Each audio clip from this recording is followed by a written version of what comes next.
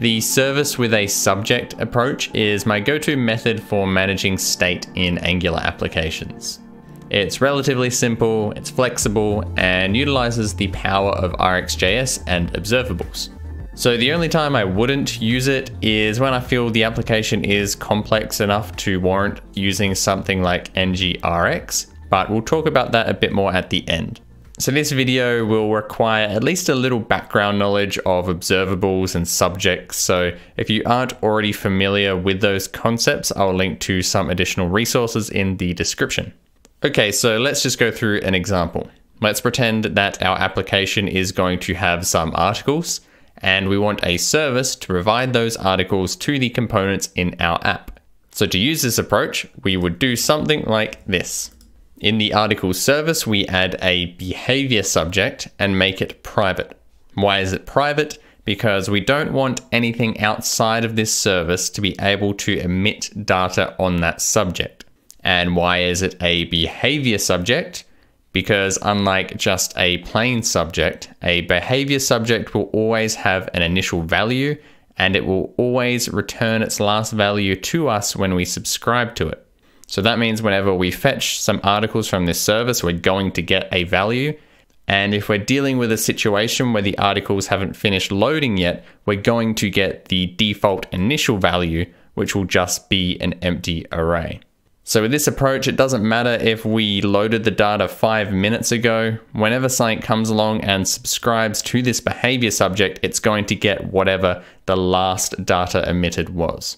So we intentionally made this private because we don't want things outside of this service to be able to access it, but we do need a way to provide that uh, subject to the rest of the application. So we create a method to fetch it. So also have to import observable here as well because we are giving this a type of observable. And that observable is going to return a stream of articles in an array. Now it's important that we set the return type of this function to observable because that means that other parts of our code base will be able to get the stream of data that behavior subject provides, but they won't be able to call methods like next to emit data on that stream because that isn't included in the observable type. It's only a method available on behavior subjects. So this will allow us to call next from within this service to emit new data on the stream, but nowhere outside of this service will be able to emit new data.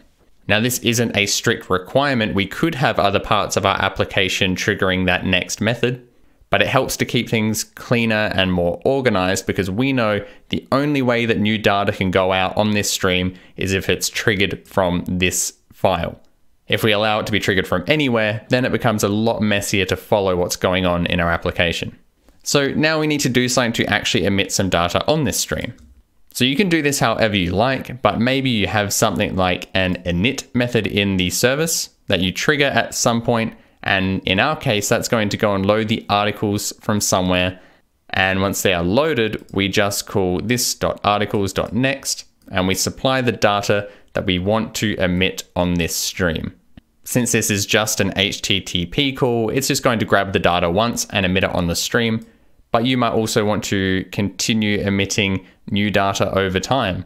So you could even have something like a WebSocket that's going to continually call this next method, or perhaps you're going to listen for updates from your Firestore database uh, in real time, and it's going to keep calling this over time.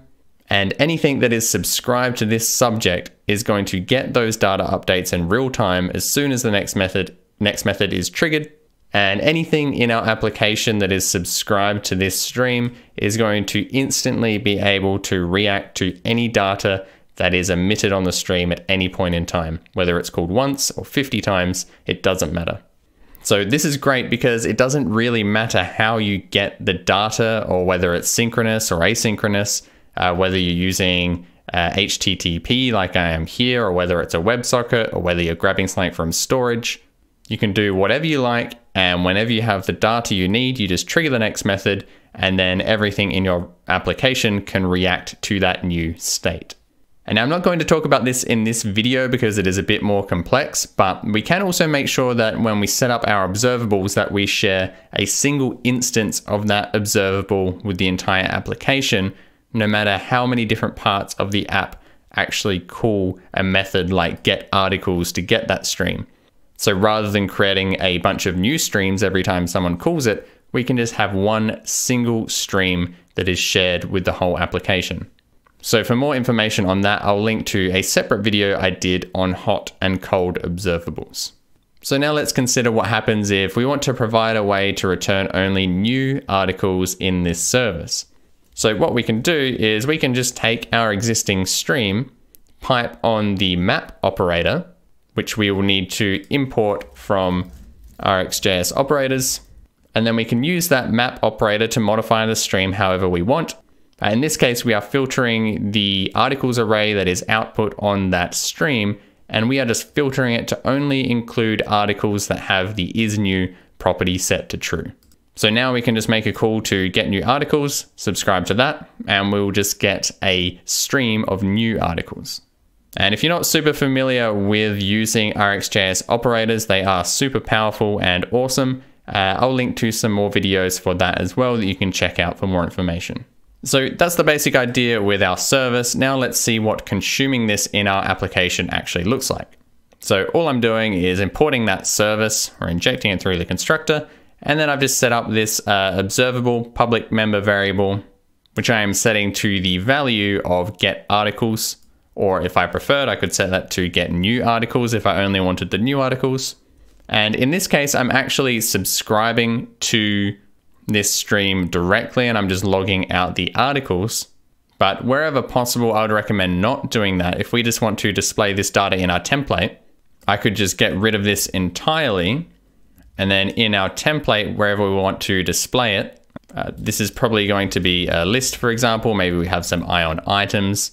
And we can just say ngFor equals let article of articles. And then we just use the async pipe and what this will do is it will automatically subscribe to the articles stream for us and allow us to pull out that data. And it will also handle automatically unsubscribing from the stream as well. Whereas if we manually subscribe to that subscription in our code here, we need to make sure that we unsubscribe from that at some point. For example, when the component is destroyed. Otherwise, we could create memory leaks and other bad situations. And there is also some more advanced stuff you can do with the async pipe. So again, I'll link to another video I published recently that you can check out if you're interested in using that as well. So there is so much you can do with RxJS streams. So the possibilities with this approach are quite limitless. But I mentioned earlier that I would use this approach except for when the app is complex enough to warrant using something like NGRX. So NGRX manages state with observable streams as well, but it uses the Redux pattern. Now, I'm not going to get into what that is in this video, but the downside of the approach we have been using is that there aren't really any strict or structured rules here. You can just do whatever you want. So this puts the responsibility on you to make important design decisions that are going to scale well. As the application state becomes more complex, you have to make careful decisions as to how you want to manage things, otherwise your application could still become a complicated mess. The benefit of something like NGRX is that although it is more complex, it is very structured and has strong opinions about how to manage state, so you don't need to make these difficult design decisions yourself. It also generally works well for a team environment because everyone can more easily understand the rules as opposed to following the whimsical ideas of one developer or everyone just kind of doing their own thing with the state. It won't take too long before things just get out of hand. So if you'd like to see some videos about NGRX, uh, let me know in the comments and I will see what I can do. Okay, I hope you liked this video. If you did, please feel free to leave a like and subscribe, and I will see you in the next video.